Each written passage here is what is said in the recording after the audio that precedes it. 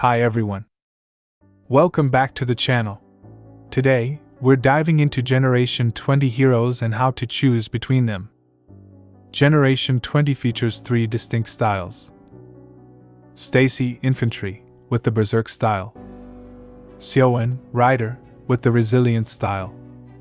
Boomtail, Hunter, with the Control style.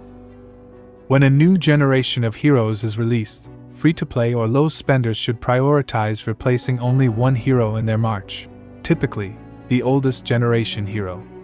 Here's the breakdown Mia stay herself. Stacy replaces Robert. Boomtail replaces Donald. Now let's start explaining in details. Stacy. Stacy is the infantry berserk hero, paired with Catherine and Eduardo. She can resonate with Leonardo, Angelica, or Splinter. Berserk counters resilience style heroes. Skill priority third skill performs the best, followed by the first, and lastly the second skill. Boomtail. Boomtail is the hunter control hero, paired with Yamira and Christopher. He can resonate with Donatello or Selena. Control counters berserk style heroes. Skill priority second skill is the strongest, followed by the third, and lastly the first skill. Xiaowen.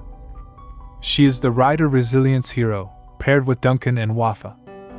She can resonate with Michelangelo. Resilience counters control style heroes. Skill priority second skill is the strongest, followed by the third, and lastly the first skill. She is a mystery, works within one report, destroy in another.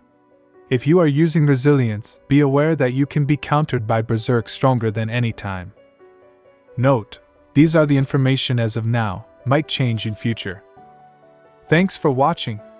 If you found this helpful, give it a thumbs up and don't forget to subscribe for more content. Let me know in the comments which hero style you prefer. See you in the next video.